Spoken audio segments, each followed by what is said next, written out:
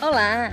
Estamos aqui para convidar todas as mulheres da nossa comarca para um evento chamado Elas Merecem Amor e Respeito. Onde é que será realizado esse evento, senhor Elequim? Esse evento será realizado na Igreja Assembleia de Deus, no auditório da Igreja Assembleia de Deus, no dia 31 de agosto, às 18 horas.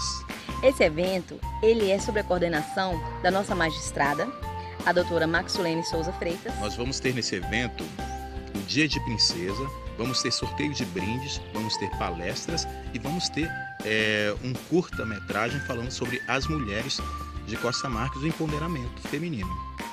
Vamos mostrar o poder que a mulher tem, porque lugar de mulher é onde ela quiser. Vamos empoderar todo mundo, hein? Aguardamos